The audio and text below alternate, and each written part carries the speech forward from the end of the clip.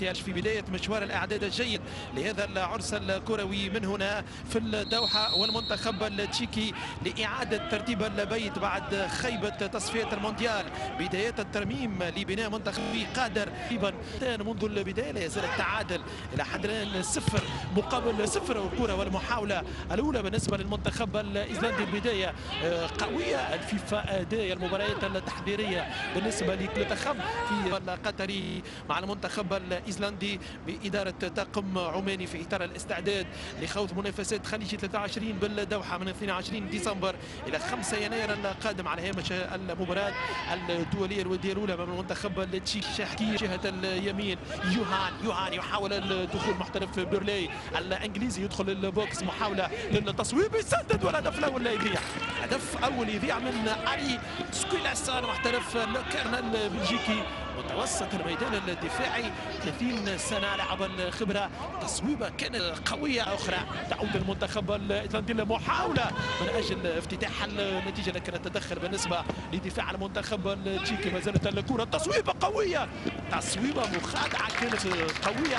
النجم السابق للسيد العجوز سحب الكرة الذهبية 2003 الحارس كذلك السابق بيتر تشيك اللي يعتزل اللعب دوليا اثر اليورو 2006 الهدف بداعي التسلل من المهاجم ميكايل كريمسيك. فرنسا مشاركة مع المنتخب التشيكي هذه الكرة العملية المحاولة التسلل بالنسبة للمنتخب التشيكي ورفع الراية في العملية الأخيرة المنتخب الذي يواصل التدريبات والتحضيرات تحت قيادة الإسباني فيليكس سانشيز. استعداد لهذه الكرة أولى والهدف الأول. هدف أول المنتخب التشيكي. أليكس بهذه الكرة على تماس الهفوة الدفاعية من جانب المنتخب الايسلندي أمام الكابيتان. قصيرة مع يوهان جودمانسون يوهان يمر يعدي. يوهان يحاول الاستلام. كرة والمحاولة. كاد بيركير يعمل إنجليزي يسجل هدف التعادل. بيركير بعد هذه الكرة والمحاولة.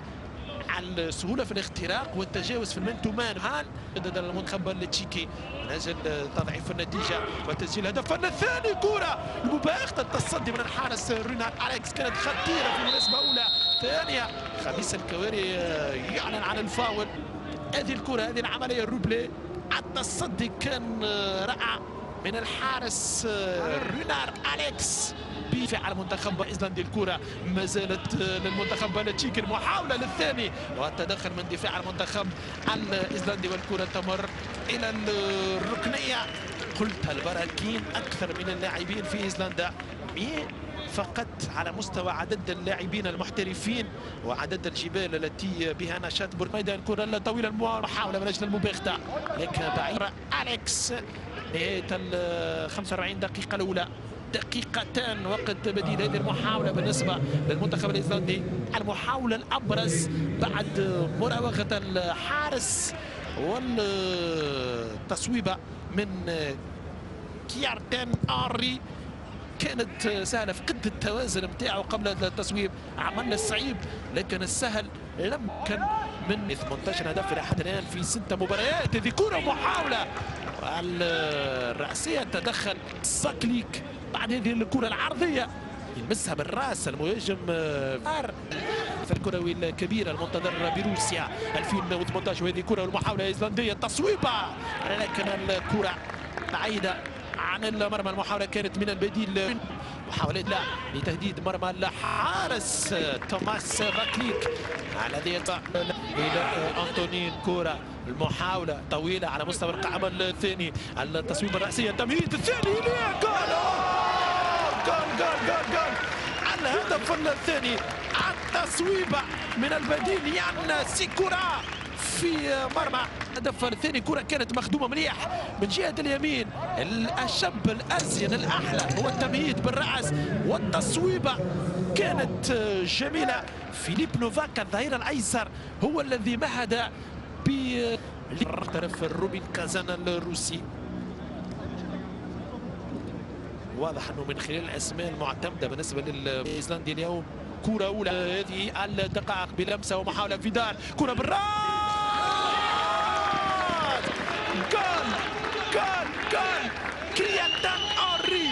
شميت ويرفض التقدم بالنسبة للمنتخب التشيكي بهدفين مقابل صفر. جميلة كانت الرفعة والعرضية والرأسية كانت أحلى من كيارتان أوري براس. يستقبل هذه الكرة قوية في مرمى الحارس توماس فاكليك.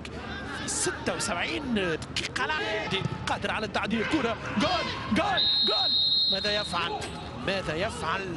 المهاجم